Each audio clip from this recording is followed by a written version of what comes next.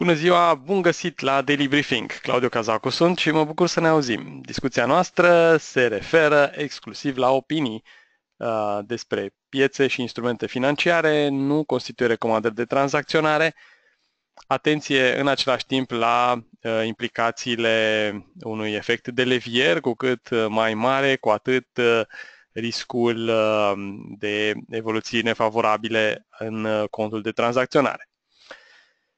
Începem uh, astăzi Market Briefing, uh, uh, un webinar care încearcă să aibă o abordare mai cuprinzătoare despre piețele globale, având un orizont puțin mai larg, chiar dacă, bineînțeles, tratăm și aspecte care pot să se deruleze pe termen scurt, dar viziunea noastră încearcă să fie măcar o dată pe săptămână ceva mai cuprinzătoare.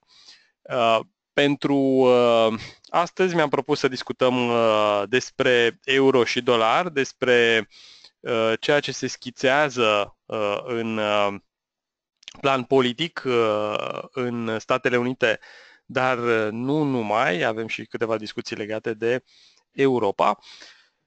Și să vedem cam care sunt perspectivele pentru piața de capital uh, în, uh, în Europa și alegem instrumentul cel mai urmărit, uh, printre cele mai volatile, dar și cel mai lichid în cadrul indicilor europeni, cu excepția UK 100, adică a FTSE, dar considerăm că este o zonă aparte, mai ales după votul de anul trecut. Deci ne concentrăm pe DAX și pe câțiva indici din Statele Unite.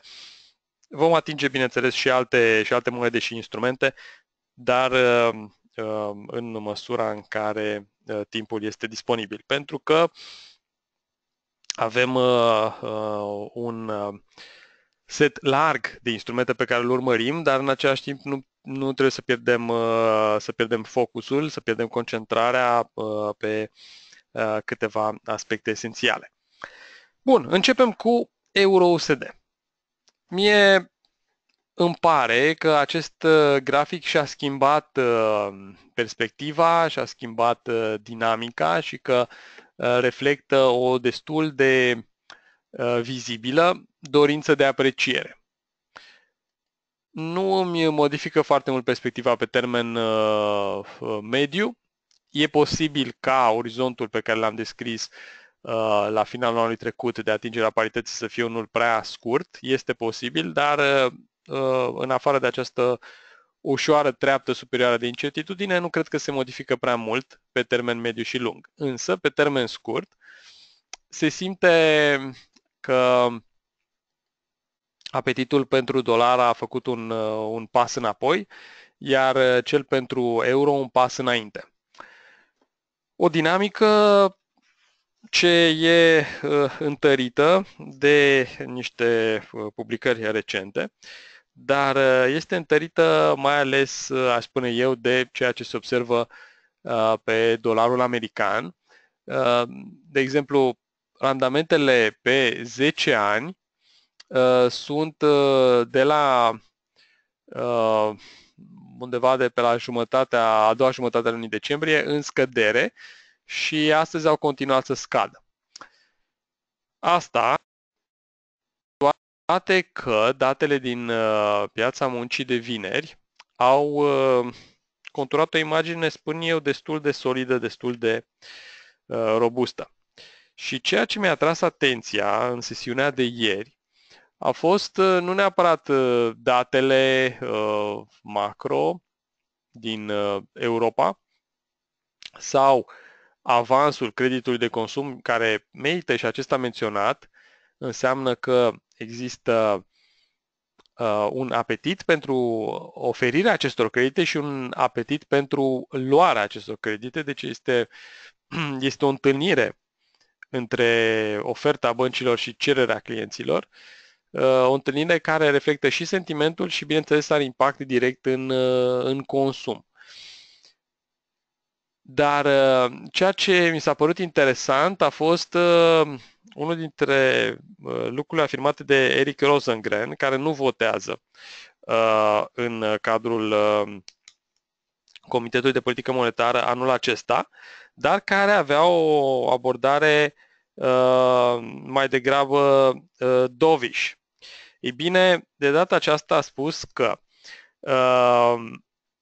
ar fi de așteptat ridicări de dobândă graduale, dar cumva somewhat more regular. Deci cumva mai, uh, uh, mai uh, bine puse la punct, mai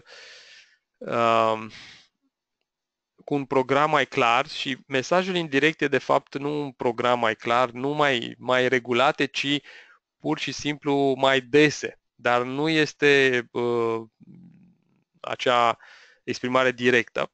Însă more regular, cam despre asta este vorba. Pentru că uh, ce însemna? Înainte erau irregular, adică odată stăm 4 luni, odată stăm o lună, apoi stăm 7, apoi stăm 3, apoi stăm 5 luni până la următoarea majorare. Nu cred că despre asta e vorba. Ci uh, more regular înseamnă un program mai, uh, uh, mai dens de majorări. Uh, inflația ar putea atinge 2% până la finalul anului. Uh, și expresia cea mai interesantă, appropriate to examine reducing balance sheet. Adică ar fi cazul să ne gândim uh, la diminuarea uh, activelor. Adică nu să vindem din titlurile deja acumulate,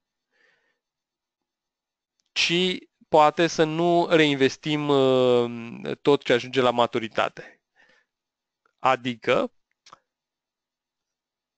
banii care au fost injectați în sistem de-a lungul multor ani de politică neconvențională ar trebui să fie foarte ușor, dar să existe aceste discuție și în curând, uh, în curând nu înseamnă într-o lună, două, dar să existe discuția și să se treacă uh, la, la un asemenea proces, ar putea fi vorba de, zic eu, de uh, trimestre, dar uh, să se retragă acești bani injectați în uh, sistemul financiar. Pentru că uh, avem un cu totul alt context. Un lucru la care subscrie și uh, Jamie Dimon de la JP Morgan, care sus, spunea uh, că economia este puternică și că uh, ratele de dobândă pot ajunge mai departe decât se așteaptă piețele acum. Ceea ce este uh, în tocmai opinia pe care o avem și noi și o discutăm uh, de ceva vreme. Deci, dincolo de niște evoluții temporare, cred că perspectivele pentru dolarul american, în urma unor tendințe pentru rată de dobândă, Uh, unor tendințe ascendente, perspectivele sunt în continuare bune pe termen, să spunem, mediu și lung. Nu pe termen foarte lung și probabil nu pe termen foarte scurt. Deci, atașăm niște orizonturi temporale fiecăreia dintre afirmații. Uh, dacă Fedul ar anunța pe 1 februarie, e un exercițiu, nu cred că o va face, dar să spunem, dacă ar anunța pe 1 februarie că uh, Uh, nu uh, va mai reinvesti întregul principal, adică nu va menține, în traducere ar însemna că nu va menține nivelul activelor uh, sale și încetul cu încetul va retrage din banii tipăriți, impactul pe dobânzi ar fi vizibil și s-ar transpune într-o reacție puternică de apreciere a dolarului american acest scenariu probabil că nu se va întâmpla în februarie. Însă nu ar fi de exclus ca în săptămânile și lunile următoare să se discute tot mai mult despre asta și astfel să se infiltreze din când în când uh, câte o uh, tendință uh, pozitivă pe, pe dolar. Dar până una alta, pe termen scurt am spus că nu se vede așa ceva, ci din potrivă euro de arată ascendent și uh, dolarul uh, a pierdut teren și față de uh, yen uh, se simte mai bine în, în raport cu lira sterlină care este foarte slabă, dar în rest nu, nu duduie deloc.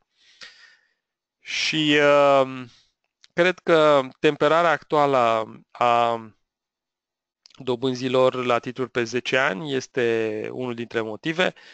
Așteptarea unor clarificări în privința programului uh, noului președinte este al doilea motiv. Nesiguranța uh, în legătură cu politica externă este al treilea motiv și acest al treilea motiv are drept uh, partener, uh, sau să spunem drept corolar, uh, poate o continuare a diminuării expunerii uh, Chinei pe titluri de stat americane. Cu alte cuvinte, se vând dinspre China titluri de stat, bani care ies bani care ies din China ar fi depreciat yuanul și mai puternic dacă Uh, de cealaltă parte, nu ar exista uh, PBOC-ul care să um, vândă dolari. Și uh, avem câteva premise, deci pe termen foarte scurt. Ne gândim la o comunicare programată pentru miercuri, nu am văzut să se fi schimbat, o comunicare pe teme fiscale. Uh, și pe teme generale de politică uh, a noului președinte. Bănuiesc că avem uh, până atunci un pretext destul de bun de marcare unor profituri pe un raliu al dolarului care a fost spectaculos. Iată un dolar, un dolar yen pe un grafic daily cu toate alunecările recente arată spectaculos ca și creștere, nu ca scădere. Ah, deci, eh, din partea dolarului am, eh, am conturat eh, imaginea, am avut ieri multiple motive de fricțiune, de exemplu, Statele Unite au avertizat din nou Corea de Nord în legătură cu un test al unor rachete. Corea de Nord afirmă că este capabilă să și că va face un astfel de test cu um, o uh, încărcătură, cu o rachetă care poate avea o încărcătură nucleară uh, serioasă. Uh, unele dintre teste, ne amintim, este un istoric destul de lung, unele dintre teste nu au fost de succes, însă ten, trendul, trendul este unul uh, de a uh, dovedi o Uh, forță tot mai mare acestor uh, arme și uh, o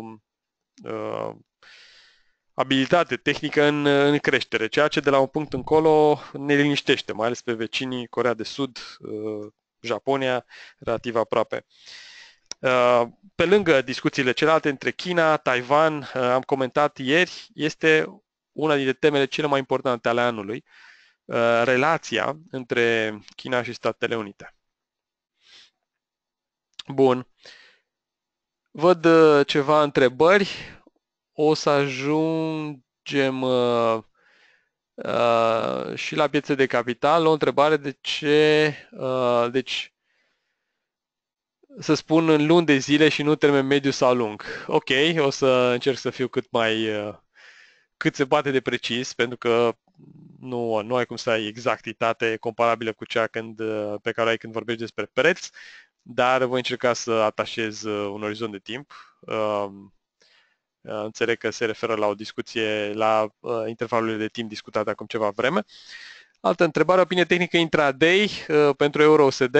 Bineînțeles, ajungem și aici, dar v-am promis o perspectivă mai largă. Așa că permiteți-mi să vă mai povestesc doar câteva minute despre niște aspecte macro legate de Europa Uh, și apoi uh, trecem la lucruri concrete despre EURUSD, trecem la alte piețe valutare și uh, în, în scurtă vreme după aceea la piețele de capital. Pentru EURUSD, bineînțeles, evoluția în Europa contează și sentimentul a devenit unul mai optimist în această perioadă. Ne gândim și la Uh, datele din uh, zona serviciilor de săptămâna trecută, Final Services PMI 53,7 peste așteptări, uh, industria iarăși merge bine conform lui Manufacturing PMI și inflația avansează. În Statele Unite am avut într-adevăr joi un raport al Non-Manufacturing PMI, 57,2 puncte, peste așteptări, dar câteva din componente, cea de employment, cea de comenzi de export noi, au dezamăgit. Deci, sub suprafață nu arată totul foarte roz. Um, de asemenea, am comentat, uh, am comentat NFP-ul. Din punctul meu de vedere, este un, uh, un uh, NFP decent și nu unul slab.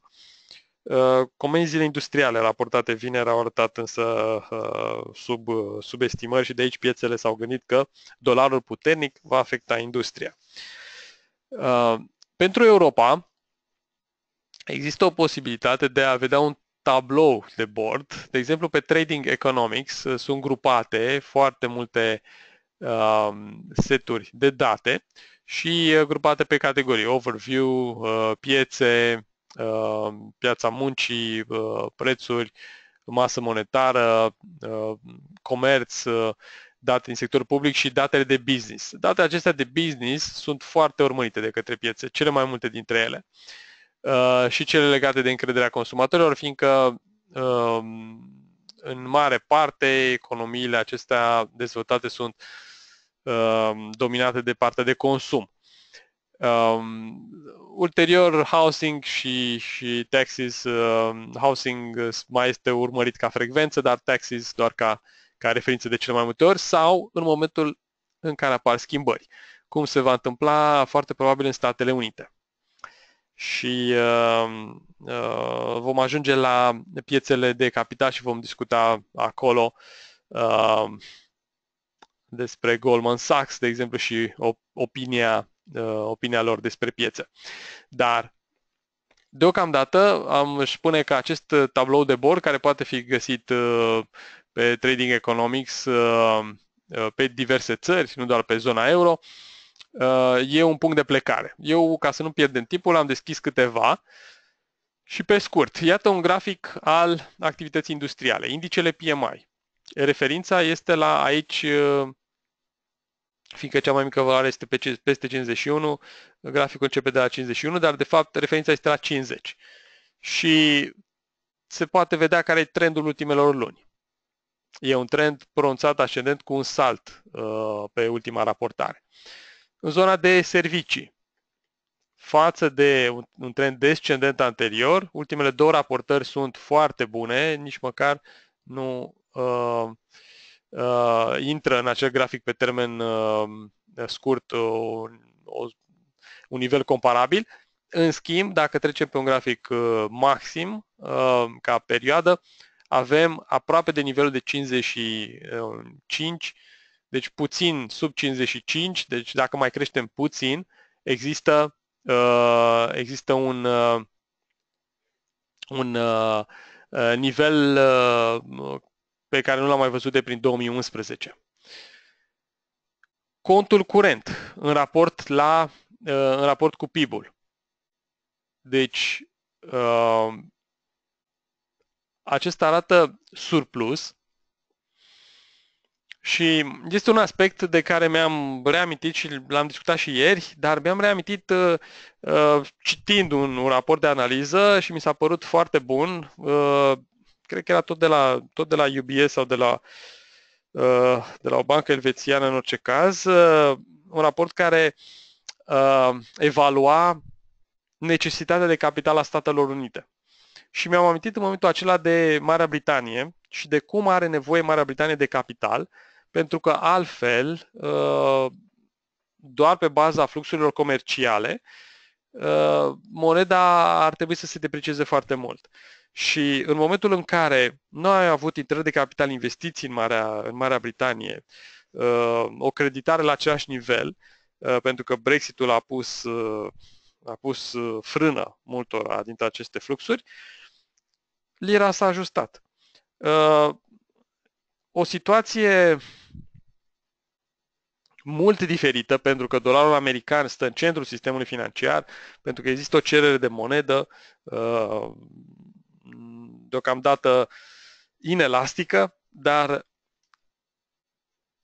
cumva, uh, în afară de acest statut privilegiat al dolarului și poziția economiei americane în economia globală, uh, avem în Statele Unite un deficit comercial în mare parte în relația cu China, în timp ce în Europa avem un surplus comercial, iar acest surplus ca procent din PIB, iată cum arată în ultimii ani. Mie mi s-a părut foarte frumos acest grafic și foarte ilustrativ.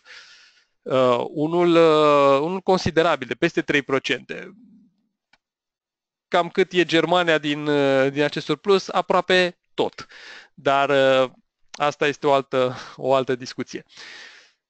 Uh, balance sheet, adică activele băncilor, băncii centrale, arată că avem o creștere graduală, pentru că programul de injecție de lichiditate asta înseamnă. Și aici e un efect sezonier, am, am bătut în retragere, dar înseamnă că tot mai multă uh, masă monetară este, este disponibilă. Se poate vedea aici uh, pe categorii uh, M1, M2, M3. Inflația. Deci dacă până acum ea stătea la niveluri analizate foarte coborâte, dintr-o dată avem un salt. A trecut uh, Uh, efectul uh, prețurilor reduse la energie și dintr-o dată uh, am sărit la 1,1% peste cel 1% așteptat și nivelurile vor fi pe aici și probabil vor crește în perioada următoare. Balanța comercială în valoare absolută și rata șomajului în scădere. O imagine deloc rea pentru Europa. Deloc uh, neplăcută și în orice caz una care, uh, dincolo de provocările de anul acesta, care sunt abundente și le-am discutat, care cred că vor intra în discuție în lunile următoare, uh, există un sentiment că, de fapt, despre bine. Iar în Germania există o reală preocupare vis-a-vis de inflație. Una care l-a făcut pe uh, viceministrul de finanțe să, să ceară o discuție pentru ieșirea din, uh, din programul uh, de injecție de lichiditate. Și cred că va fi tot mai greu, tot mai greu lui, lui Draghi să mențină uh, parametrii actuali pentru, pentru multă vreme. Chiar și până la finalul acestui an.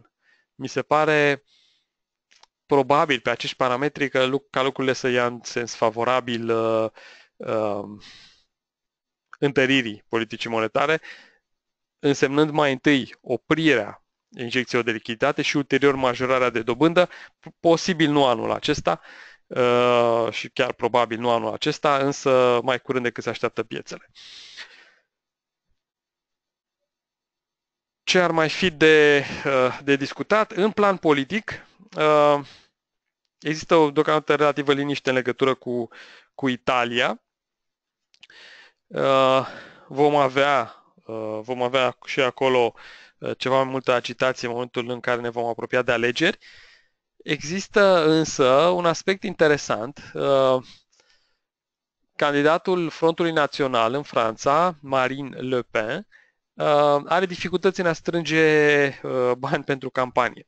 Pentru că este un mecanism, un mecanism de felul următor, înainte de campanie, înainte de alegeri, uh, se împrumută uh, partidele la bănci. Cine câștigă peste 5% din voturi uh, primește fonduri publice cu care plătește înapoi acele împrumuturi. Dacă nu câștigă, nu primește fonduri publice și trebuie să găsească bani din altă parte. Dar ce se întâmplă dacă băncile nu vor să te împrumute? atunci uh, ai ceva dificultăți. Și aceste dificultăți ale campaniei uh, sunt aparent uh, preluate în, în, în ton optimist de către, uh, de către moneda unică europeană și chiar de către piețele de capital, pentru că Marine Le Pen este fanul uh, ieșirii chiar și din zona euro nu doar din, uh, din Uniunea Europeană și revenirii la francul francez. Ceea ce pentru uh, mediul bancar ne putem imagina nu este chiar cel mai frumos scenariu. Deci, lumea economică se îmbină cu cea politică și astfel de detalii pot avea influență pe termen scurt. Acum, termen scurt însemnând în cazul de față ore sau zile. În cazul de față, euro-USD însă acum, intraday, pare a nu fi deocamdată pregătit să spargă 1.0620, dar nici suficient de dornic să ajungă sub 1.0590. Tehnic ar părea că această corecție ar fi mai frumoasă, mai împlinită în cazul în care am ajunge, am ajunge la 1.0560, dar nu este obligatoriu. Eu aș bănui că într-una sau două ore vom afla dacă piața are forță să meargă sub 1.0590 și dacă poate, atunci 0.574, 62 sau uh, chiar nu 0.550 pot fi atinse. Uh, chiar dacă nu face această străpungere uh, și există o dinamică laterală, sentimentul meu e că piața va merge astăzi peste 1.0620.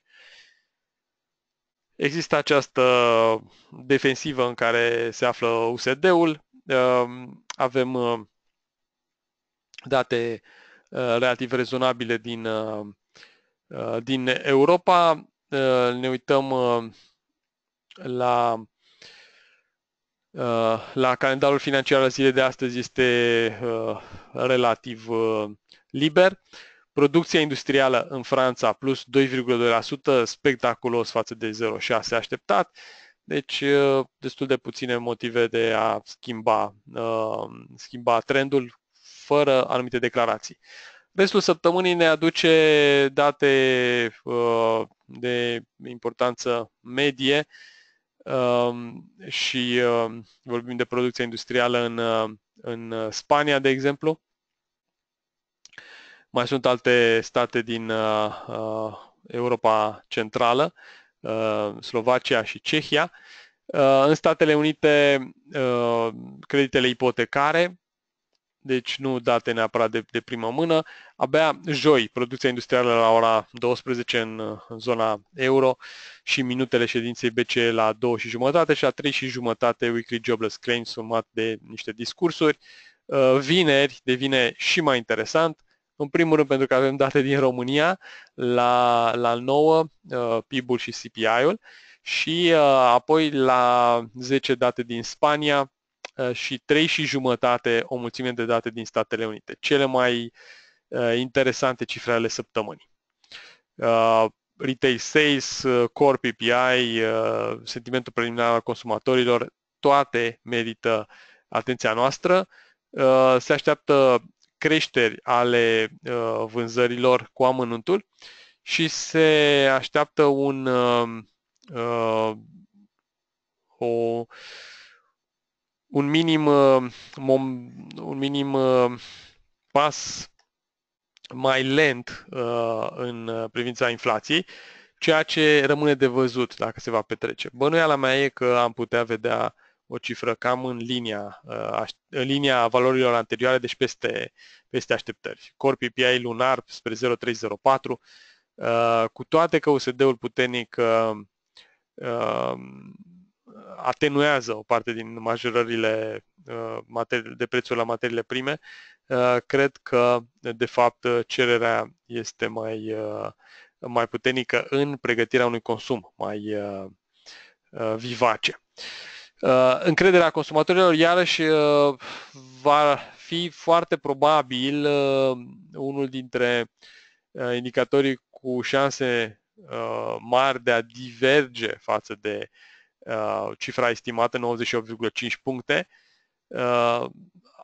Acum, la prima vedere, având în minte evoluția din piețele de capital și discuție din sfera publică, aș spune că cifra ar putea să fie semnificativ peste estimări, dar uh, să vedem ce date mai apar uh, în sesiunile următoare. Deci uh, o săptămână rezonabilă, nu extrem de, extrem de plină de, de informație. Ne uităm cam ce se mai întâmplă cu dobânzile pe 10 ani, dacă ele rămân pe aici nu depășesc 2,40, 2,45 sau dacă depășesc 2,40 uh, și există și o creștere pe titluri de stat în Germania, de exemplu, sau uh, în alte state core din uh, zona euro, se menține diferențialul și putem vedea un euro SD care să continuă să crească. Aceasta este ipoteza uh, de bază și uh, intraday, dar nu neapărat pentru următoarele ore, fiindcă vedem uh, dacă rezistă sau nu 1.0590, dar pentru, uh, pentru probabil una, două sesiuni.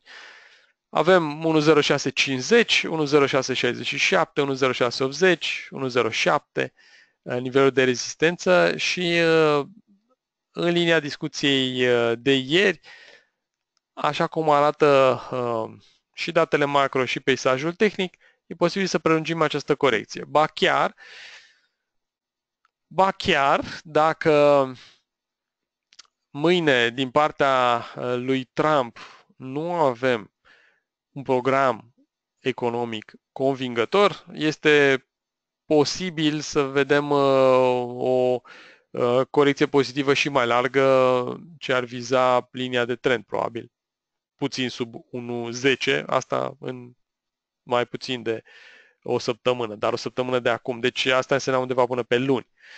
Uh, e un moment, uh, e un moment important. Bun. Uh, întrebarea, exista suficiente date pentru a merge peste 1.0650 astăzi? Ar exista suficientă Uh, suficientă energie. Date noi uh, nu avem, nu prea mai avem, însă pe logica actuală, cred că, cred că s-ar putea, uh, s-ar putea să mergem, uh, dacă spargem 1.0620 spre 1.0650, mi se pare suficient de aproape. Dar mai întâi să se hotărească piețe dacă nu cumva trebuie să testezi linia de trend. Și evident, dacă o sparg, avem suporturi uh, apropiate, nu m-aș aștepta să o spargă fără ceva uh, elemente de noutate. Bun, um, o întrebare despre Donald Trump. Uh, ora nu, nu știu. O să bănuiesc că o să avem timp să discutăm la webinarul de, de mâine, în orice caz. Uh, dacă este ceva mai, uh, mai devreme, va fi un, uh, un, link, un link, o informare pe, pe site, pe TradeBit și dacă va fi la liber și va fi la liber materialul, va fi și pe preluată și pe site. Bun. Atât despre EURUSD, termen, ca să reau ideea, în momentul de față spune că uh, paritatea este încă uh, de luat în seamă Uh, în uh, următoarele două luni, aș spune, orientativ, foarte, foarte orientativ. Dar asta n-ar trebui să ne blocheze niciun, în niciun fel în cazul în care piața dă semne că vrea să aleagă o altă direcție. Mergem la lira sterlină. Aici este un peisaj încărcat săptămâna aceasta. Uh, avem date chiar Ba nu, asta este, suntem pe 10, asta este abia mâine. Ar fi fost foarte frumos, mi-ar fi plăcut uh, mult să, să avem un mic live trading, dar mâine producție industrială și balanță comercială uh, și mai ales Mark Carney la uh, 4 și un sfert. Și Mark Carney uh, trebuie să explice de ce și nu îi va fi foarte ușor, uh, dar uh, o va face cu calmul său canadian, pentru că este canadian. Uh, care va trebui să se ridice la înălțimea calmului englezesc al, al uh, parlamentarilor, dar uh, va explica de ce uh, prognozele sale pentru o încetinire abruptă a economiei după Brexit nu s-au, uh, nu s-au adeverit. Și uh, trebuie să recunoaștem că uh, și noi am fost în aceeași uh, tabără și uh, credem, eu cred că performanța economiei britanice, care este într-adevăr impresionantă pe anumite zone, este un efect uh, de scurtă durată, a unor uh, efect al um, unor uh, de răspunsuri la deprecierea lirei și la o aparenta depășire uneventful, fără, fără șocuri, a referendumului. Dar, de fapt, acel vot începe să producă, în afară de pro- efectele de așteptare, de anticipare va începe să producă efecte serioase ani de zile de acum înainte. Deci nu e, nu e ca și cum gata, Brexitul s-a încheiat și cine a spus că va fi rău după Brexit a greșit. Uh, dar ca, ca uh, răspuns uh, al parametrilor macro, cu siguranță aceștia au fost mult mai, mult mai buni, mult mai buni decât se aștepta. Accentul trebuie pus unde, unde trebuie, fiindcă merită de data aceasta. Dar dacă te uiți la FTSE 100, este la niveluri record și aici uh, tabăra Boris Johnson uh, și uh, Nigel Farage ar putea să exulte, însă dincolo de un grafic arată foarte frumos și e perfect. Dacă ai doar venituri în lire și cheltuieli în lire sterline și nu intenționezi să părăsești țara, și uh, ți-ai făcut și un stoc mare de produse pentru că urmează să se simtă pe, pe partea de inflație, uh, niște creșteri, uh, să se simtă creșterea prețurilor care se generează inflație, dar dacă transpui evoluția aceasta în dolari, de exemplu, constați că nici vorbă nu mai este spectacolul care pare pe acest grafic. Și de altfel este și motivul, unul dintre motivele puternice pentru care Uh, este indicele atât de, de sus. Dacă lira nu s-ar fi ajustat atât de pronunțat, nici indicele nu ar fi crescut la fel de mult. Deci este un joc uh, de valoare relativă, un joc de uh, portfolio rebalancing și nu neapărat o super performanță intrinsecă. Dar aceste companii sunt companii globale. Companiile care au prezență locală nu au performat la fel de bine. Asta este important de precizat. Pe lira sterlină, hard Brexit, sugerează Theresa May, mai importantă independența politicii de imigrație decât, cea, uh, decât accesul la piața unică, o opinie considerată dezastruoasă de către trader și am ajuns mult mai jos, aproape de 1,21.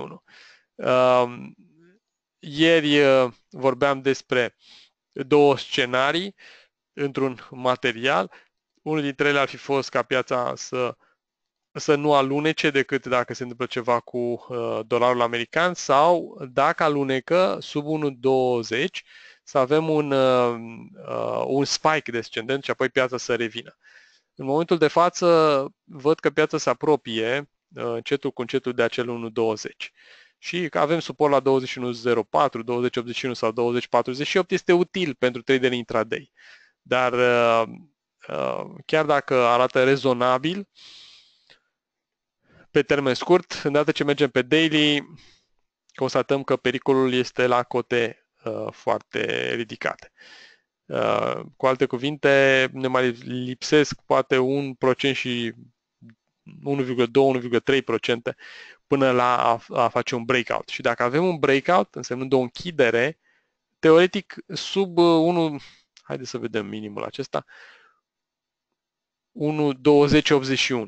Teoretic i-ar fi de ajuns. Practic eu aș spune că 1.20 este adevărat un nivel simbolic. Deci, o închidere sub 1.20, ceea ce nu e imposibil acum se mișcă lira sterlină, mai degrabă ca un emerging currency, um, ar deschide acolo drum uh, de, de continuare în sens descendent pentru că Uh, piața ar, um, uh, ar avea probabil ordine de așteptare. Mai degrabă sub 1.2080, ordine de tip uh, stop, fie stop loss, fie de, de intrare speculativă, în primă fază sub 1.2080, dar cred că mai ales sub 1.20. Și dintr-o dată totul ar deveni aici ceva asemănător cu perioada de consolidare din vara lui 2016. Uh, interesant însă că ar, dacă am avea un breakout acum, ar fi poate prea devreme și uh, ar lipsi întregul segment pe care l-am avut uh, în august, de exemplu. Un al doilea punct de contact uh, și respingere și apoi uh, uh breakout. Uh, deci, există, cred, o mai mare șansă de uh, scădere de durată dacă piața cunoaște respingere de aici. Dacă avem direct o spargere, mă aștept la o spargere destul de agresivă, poate în câteva zile să mergem la prefixul 1.18 sau mai jos, dar apoi un rebound foarte rapid dincolo de nivelurile actuale. Deci probabil spre 1.22, 1.23, 1.24 chiar. Dacă însă există mai întâi un rebound, câteva, în total să mai dureze una, două săptămâni cel puțin și apoi un breakout, cred că piața poate să rămână multă vreme și mai jos. Și acesta este mesajul, de fapt, al, al materialului publicat uh, de ieri. Uh, slăbiciunea GBP, o întrebare, slăbiciunea GBP nu lasă euro să urce în fața USD. Uh, problema aceasta cu Brexitul afectează cumva și, și încrederea în, în Europa în general și a afectat temporar și bursele europene. S-a văzut S-a văzut asta ieri când discutam, uh, ideea mea mi-a venit ulterior uh, discuției noastre, când vedeam uh, o deschidere pozitivă și apoi o pierdere de altitudine uh, și nu era justificată doar de date macro-locale. Uh, dar uh, e un efect uh, de, a spune de dimensiuni mici sau medii, nu, nu unul major. Însă este, poate fi un efect negativ și pentru burse și pentru moneda unică europeană în raport cu alte monede. Este adevărat. Bun, întrebare. Dacă vine hotărârea curții cu răspuns pozitiv pentru Parlament, dacă vine hotărârea aceea și eu cred că așa va veni, dar mă gândesc că până că mai durează, um, dacă vine un astfel de răspuns, avem o reacție puternică. O reacție de tipul între 150 și 300-400 de, de pips probabil în 24 de ore. Cam așa aș vedea. Deci în medie cam 200-200 și ceva de, de pips. Deci 0,2. Aproximativ 2%. Uh, de evoluție pozitivă. Uh, și ar crea, ar crea eventual, în funcție de discuțiile ulterioare, uh, și potențialul unui mini trend ascendent. Dar mai întâi ar veni o corecție uh, de 60, 80, 100 de, de PIB și la adresa uh, raliului respectiv și, uh, și ulterior poate s-ar construi un trend. Deci uh, am mers uh, pe ideea că o să avem un răspuns pozitiv, dar că mai durează puțin și atunci uh, predomină riscul acestea negative. Ca idee, nu m-aș antepronunța și nu am poziție pe lira sterlină, însă dacă vedem că sparge niște niveluri cheie și alunecă, e esențial să avem întotdeauna un stop loss uh, rezonabil, rezonabil însemnând să nu pierdem prea mult, deci cu, uh, continuat cu, uh, cuplat cu dimensiunea poziției, să avem, uh, să avem un risc uh, rezonabil la, în raport cu întregul nostru cont. Uh, și, uh, de exemplu, dacă sparge un 20-80, uh, eu m-aș gândi la un stop loss cam în zona 21, deci puțin mai sus decât nivelul acesta, 21.40, cam așa. Uh, dacă am sparge 1.20, uh, evident ar trebui să ne gândim la un 1.20.48 cel, uh, cel puțin. Deci nu vorbim de stop loss-uri foarte apropiate, însă însă dinamica ar putea fi una descendentă. În momentul în care există o, o respingere, ea ar trebui să se vadă pe un grafic daily, deci nu Uh, nu pe H1 sau să ne imaginăm noi că e totul uh, în regulă, doar cum arată acum pe H1. Cred că pe termen de câteva, să nu mai spun termen scurt, să spun de câteva ore, piața are aici o șansă de recuperare spre 21.60, 21.75, de ce nu? Dacă depășim această zonă chiar spre 1.22, însă pentru ideea de care vorbesc, e nevoie ca graficul daily să se transforme într-un hammer sau în zilele următoare să fie un alt, uh, un alt pattern de construcție pozitivă. Între cele două variante, uh, eu zic că uh, piața nu are nevoie de mai mult decât de un micro imbold pentru a, a sparge un 2080 și a sparge chiar de data aceasta și avea un spike de scurtă durată. Deci uh, am uh, această bănuială a unui interes speculativ major în, uh, în sens descendent și care dorește satisfacția acum pe termen scurt. Însă, dacă acest bobârnac nu va veni, chiar așa, chiar cu toată tentația speculativă, piața ar, ar cunoaște o recuperare.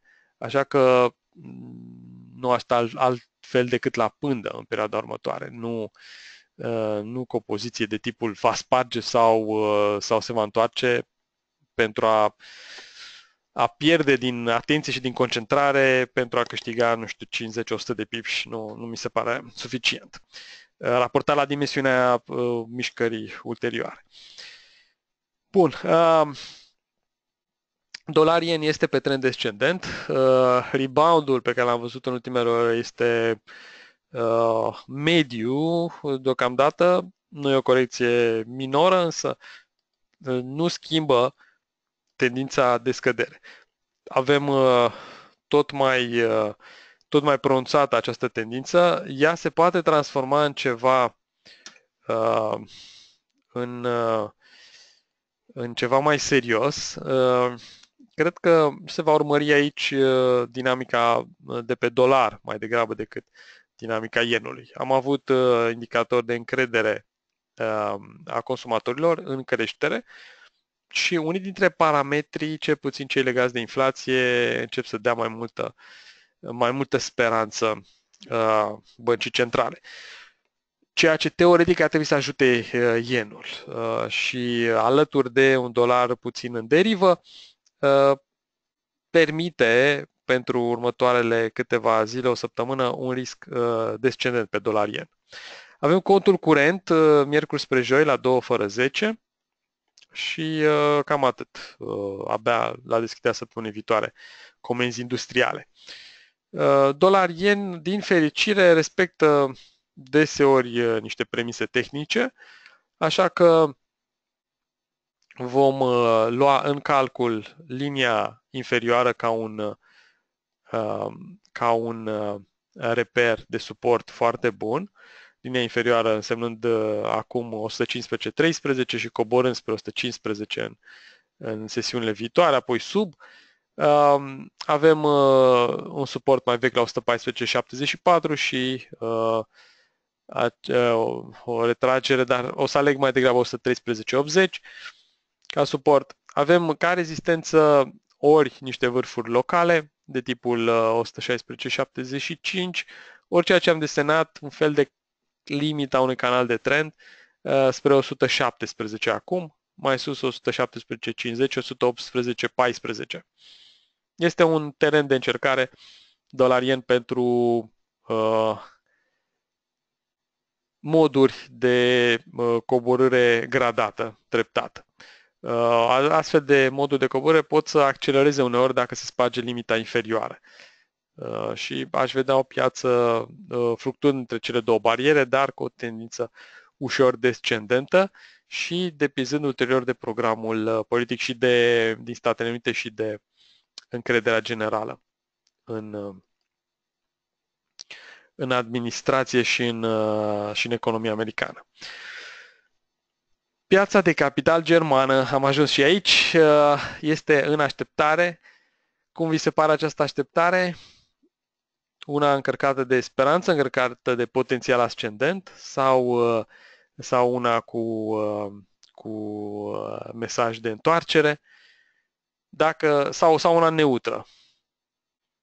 Deși neutra asta nu ar fi pentru că mai devreme sau mai târziu se va duce într-o direcție, nu, nu, nu va rămâne aici. Nu, să eliminăm varianta neutră. Să spunem doar uh, uh, întoarcere, range, cele mai multe, cele mai multe opinii sunt neutre, deci e echiprobabilă spargerea și, uh, și întoarcerea. Descendent, văd niște întoarcere, o corecție, mai multe sunt pe corecție, deci. Bun. Haideți să vedem US uh, 30 ce mai face. Iată-l pe grafic daily. Vi se mai pare că arată mult mai bine decât piața germană? Deci, piața germană, US 30. Pare că arată uh, mult diferit? Cam la fel. Uh, e un răspuns pe care l-am primit, dar cred că suntem uh, ok. Asta este și, și senzația mea. Până, până acum uh, am tot vorbit despre o piață germană mai slabă. Uh, știm că directorul Volkswagen a fost uh, uh, uh, pus sub acuzare în Statele Unite. Uh, totuși, acțiunile Volkswagen n-au mers, n-au mers de roc rău în ultima perioadă. Uh, avem această discuție mai veche despre riscul politic. Și cu toate acestea mi-amintesc de mesajul unuia dintre administratorii de fonduri din Statele Unite, care spunea, nu unul dintre cei mai vizibili, nici pe departe, apare foarte rar la televizor, uh, dar care spune așa că Europa este, în momentul de față, uh, văzută mult mai rău decât ar trebui în raport cu Statele Unite. Și că, uh, de fapt, piața din Statele Unite este scumpă și cea din Europa este ieftină și el are în vedere investiția acolo. Uh, și uh, uh, îmi amintesc de aceste, de aceste cuvinte acum când mă uit la, la grafic. Și mai interesant e faptul că DAX-ul rămâne în zona 11.500, 11.600, cu toate că EUROSD crește. Um, Goldman Sachs apreciază mai mult piața europeană, este iarăși un, un mesaj de aici uh, pe care îl citesc și care se leagă de ceva ce vreau să vă povestesc. Uh, din punct de vedere al multiplilor de evaluare, arată mai bine. Uh, din punct de vedere al, al riscurilor, uh, care sunt mult mai variate, în Statele Unite ai un risc de subperformanță a programului fiscal care a dus, de fapt, piețele atât de sus. Dar în Europa ai risc din Italia, din Franța, din Germania, uh, risc politic. Ai risc în sectorul bancar din Italia, poate că banii oferiți nu vor fi suficienți. Ai, știu eu, risc uh, via relația cu China mult mai serioasă uh, între Germania și China decât între Statele Unite și China, mult mai importantă pentru Germania decât pentru Statele Unite. Deci ai variate surse de risc în Europa și cu toate acestea, dacă, dacă la fel ca un sportiv foarte antrenat, uh, ca un schior de slalom care reușește să evite Uh, să evite toate capcanele, toate porțile dificile și să nu, uh, să nu rateze nicio, uh, niciun jalon, nicio poartă. Economia europeană evită toate riscurile politice, atunci acțiunile europene vor performa în acesta mai bine decât cele din Statele Unite. Vă spun să sincer că nu prea vine să cred, la un nivel emoțional nu prea vine să cred uh, că uh, nu urmează o corecție. Dar dacă mă uit la vechile noastre indicii, la indicii de sentiment, uh, mă uit la multiple avertismente care se dau legate de piețele de capital din Statele Unite, Uh, și sunt, uh, au început să apară articole despre cum acțiunile sunt scumpe. Goldman Sachs și-a uh, formulat opinia despre care am discutat ieri, că pe mai mulți factori și pe mai multe tipuri, uh, domenii ale pieței, acțiunile sunt scumpe. Uh, rezultă că sentimentul este unul relativ diferit de ceea ce avem în mod normal într-un vârf. Și de aceea mă întreb dacă nu cumva piețele vor mai cunoaște un puseu ascendent înainte de a avea uh, înainte de a avea uh, o uh, întoarcere de proporții, o colecție de proporții. Și uh, un link, un link interesant uh, de care v-am promis despre Goldman Sachs Uh, și opinia lor. Acum să nu credeți neapărat că dacă Goldman Sachs a afirmat ceva, se va și, uh, se va și întâmpla. Dar este un link uh, care ne descrie niște scenarii cu nivelul de taxe. De exemplu, la un nivel de taxe de 35%, care sunt, uh, care sunt efectele. uh, asupra uh, câștigului, deci asupra, asupra profitului. Și uh, o să ne uităm la nivelul acesta 35, 30, 25, 20, 15. Deci la 25, nivelul despre care se discută, dar să vedem care va fi, care va fi uh, opțiunea, vorbim de un plus 8%. Uh, uh, stați numai o, numai o clipă. Uh, da, 8, 8%. Eram, uh, sunt foarte multe informații aici. Ceea ce înseamnă că, dintr-o dată, acțiunile care par scumpe nu mai devin la fel de scumpe. Pentru că nu e vorba de un singur an. E vorba de efecte, um, un discounting care se face. Contează profitul pe anul acesta, dar contează ceva mai puțin profitul peste un an, dacă contează și acela, contează profitul peste 2 ani. Deci când muți astfel de rate de dobândă, se compun niște efecte uh, în timp și rezultă o, o evaluare mult mai puternică. Nu, în niciun caz nu doar 8% mai, mai sus. Uh, dar piețele, uh, piețele iau în calcul și incertitudine și alte elemente și atunci uh, um, și atunci nu se transpune întreaga valoare adăugată estimată din diminuarea taxelor. Și astfel um, obținem uh, un scenariu în care, așa cum vorbesc cei de la Goldman Sachs, o să închei fiindcă produce ceva sunet aici, um, în prima parte a anului, în primul trimestru cel puțin, poți avea un efect pozitiv și ulterior un efect negativ.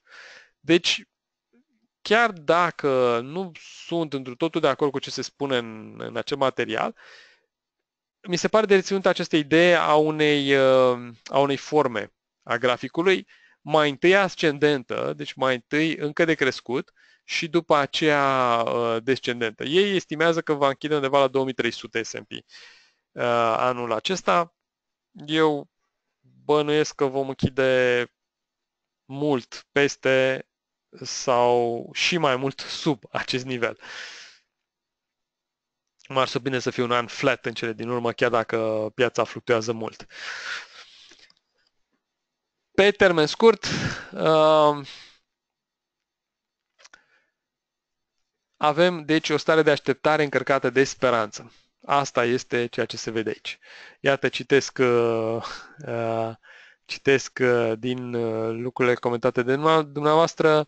Uh, 83% short market sentiment pe US 30, uh, iar pentru piața americană avem la orizont Donald Trump și devine rezultatele Bank of America și JPM, deci încep, începe sectorul rezultatelor, uh, începe uh, sezonul rezultatelor.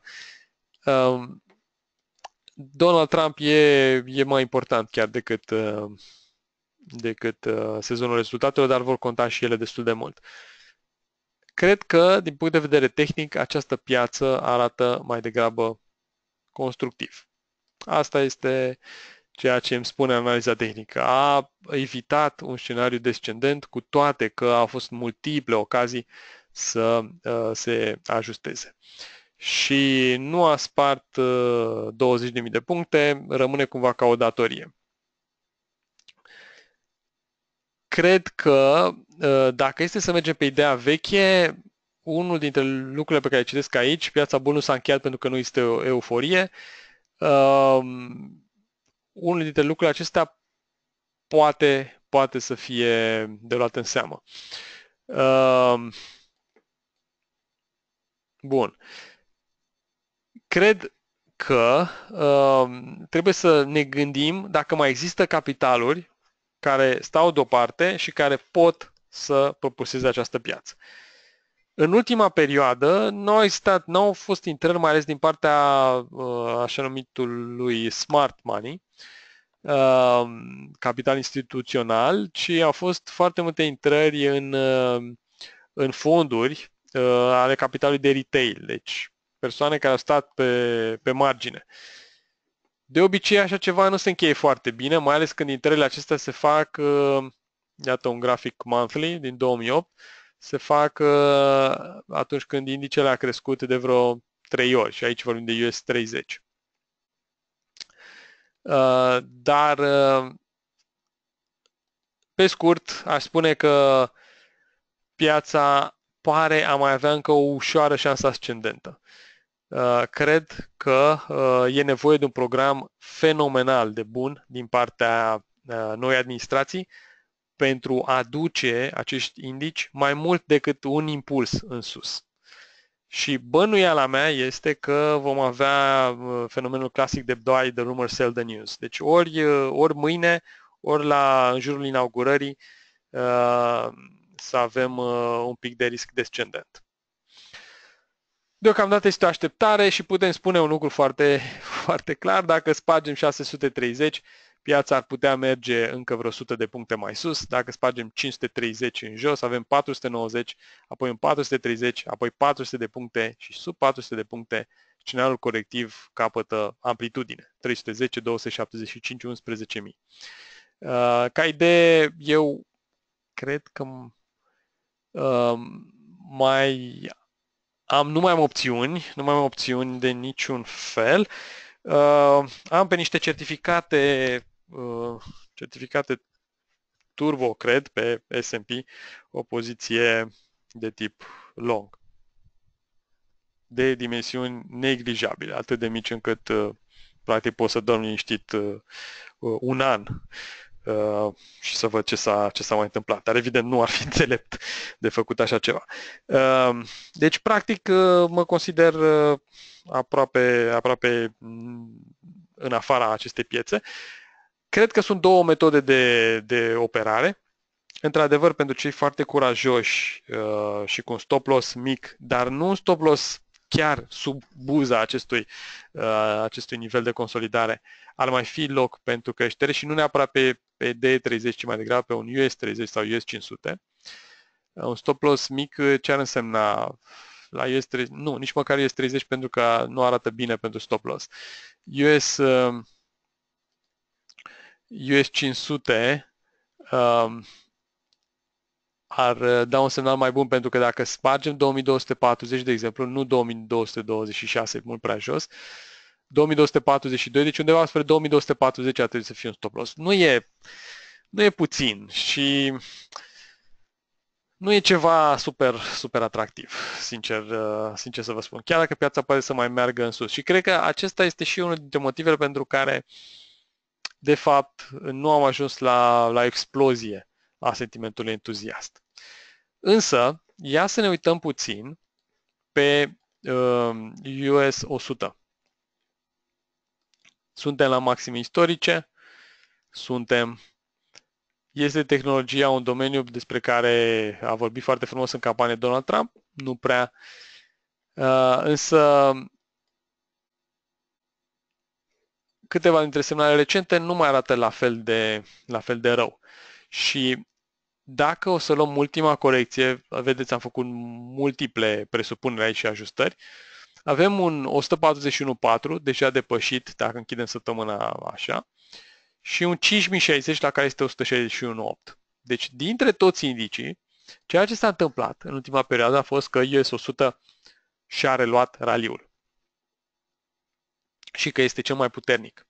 Poate US 2000, haideți să vedem.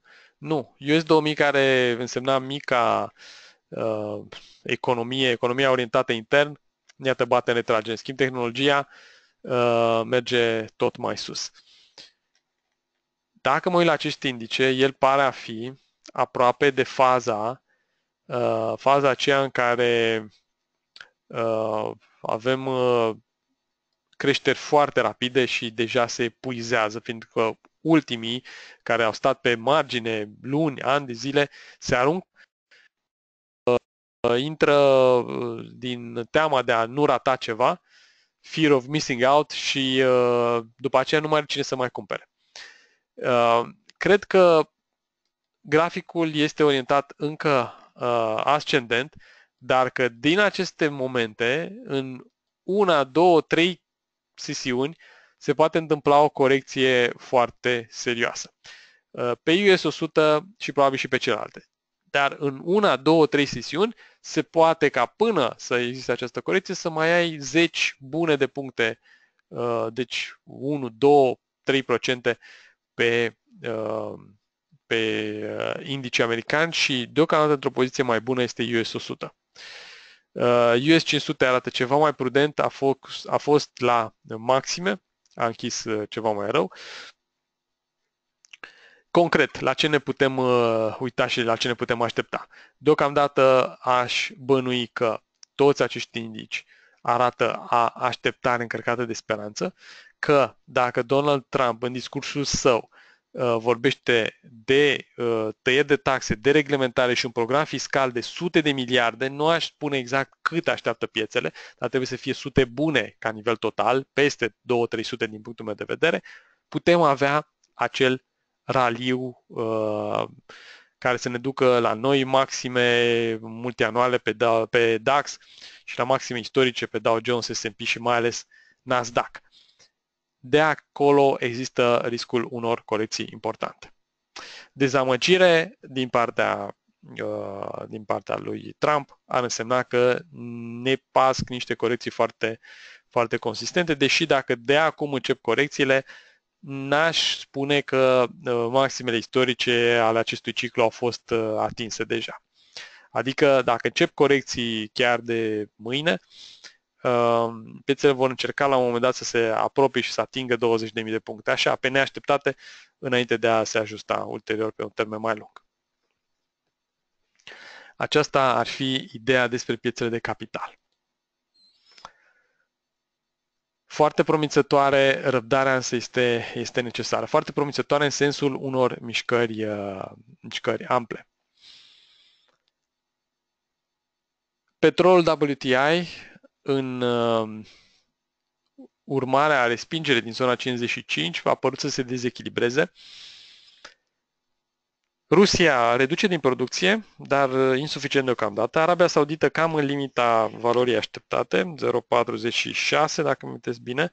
Notasem pe undeva, mă uit ce o să caut, dar nu, nu am neapărat la îndemână, cam 0, până în 0,5 milioane de barili. Și uh, uh,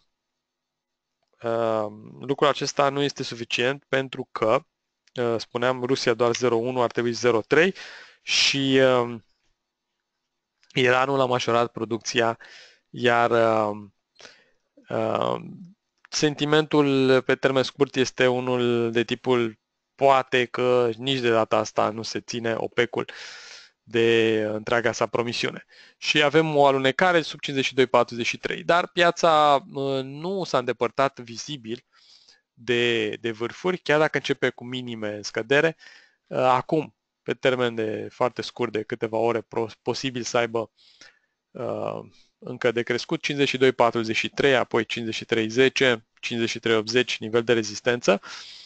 Uh, sectorul shale oil din Statele Unite iarăși e foarte dinamic, uh, a reînceput să, să pompeze mai mult și de aceea se simte uh, un pic de presiune. Totuși, uh, mă gândesc că um, petrolul va ieși din această fază uh, ușor mai plictisitoare a sa uh, și mai degrabă printr-o, printr-un breakout ascendent pentru că uh, Arabia Saudită resimte foarte dureros uh, scăderea veniturilor. De exemplu, nu știu dacă ați văzut că Price Waterhouse Coopers a fost uh, selectată pentru a pentru a asista Arabia Saudită în, într-un program de tăieri de costuri cel mai, cel mai mare din lume. Și uh, această idee împreună cu ideea de a lista compania de stat de petrol arată că uh, suferința costului scăzut al petrolului este, este tot mai mare. Bănuiesc că se va putea depăși în următoarele săptămâni 55, deocamdată însă să vedem cum rezistă uh, și cât rezistă peste 50 de dolari. Uh, pe termen scurt ușor ascendent, însă în zilele următoare riscul de a merge spre 51-64, 50-95, 50-52 este consistent. Aurul uh, este unul dintre câștigătorii acestei perioade pentru că înrăcirea relațiilor cu China, uh, efecte conjuncturale și un dolar uh, mai slab merg în favoarea sa, alături de puternica depreciere din a doua jumătate a anului trecut. Pare a fi o corecție deocamdată, una comparabilă cu cea anterioară, și să vedem dacă sparge 1190, care, iată, se, se, își întărește semnificația pe această comparație a noastră, chiar fără a lua în calcul uh, un spike. Avem uh, în, uh, uh în zilele următoare, deci, de înfruntat nivelul 1190 uh, și uh, cred că piața s-ar corecta destul de consistent și rapid dacă nu îl sparge în 2-3 uh, sesiuni, 1190. Avem un suport la 1168, 1170, mai jos 1157 uh, și 1147, apoi 1127.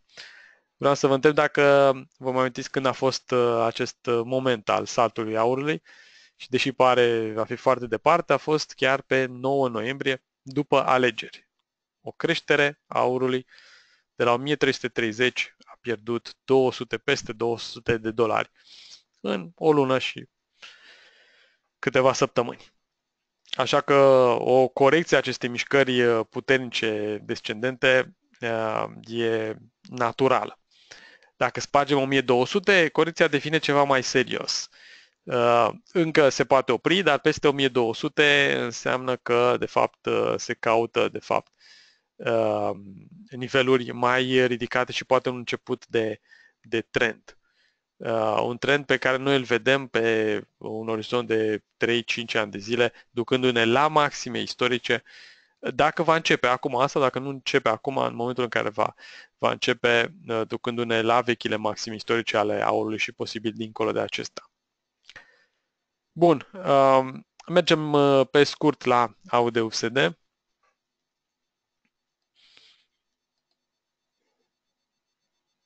Piața uh, dă un pic de semn de oboseală. Uh, avem, uh, haideți să ne uităm puțin la date, vânzări de retail din Australia, verificăm întotdeauna pentru că e, este destul de aproape de steagul Noi Zeelande, de exemplu. 0,2 față de 0,4 este o cifră slabă. În schimb, din China, PPI mai ridicat, CPI mai scăzut. Asta înseamnă că um, prețurile la nivelul producătorilor mai ridicate nu sunt transpuse și către consumatori. Uh, deci uh, absorb uh, retailerii mai mult, ceea ce nu e un semn foarte bun pentru, pentru consum. Însă, pe de altă parte, dolar, dolar yuan era relativ stabil ultima oară când am verificat. Uh, pe la 6, mă uit uh, din nou, pe la un 6, 92, 6, 92, 30. Deci uh, nu chiar pe unde dădea speranțe că va ajunge, adică fusese în două zile la începutul, nu, între primele sesiuni ale anului, în două zile iar nu se întărise cel mai mult din, din istorie Uh, pe o piață, uh, că există piața onshore și offshore, pe una dintre ele, însă uh, mișcarea respectivă s-a oprit și chiar Ioanul a revenit pe un 692-93, deci restricțiile și încurajarea vânzărilor de dolari dinspre companiile chineze n-au ținut foarte mult. Un yuan care din nou slăbește nu este un yuan foarte, nu este o, o veste foarte bună pentru AUD. Uh, care pare puțin obosit aici pe termen scurt.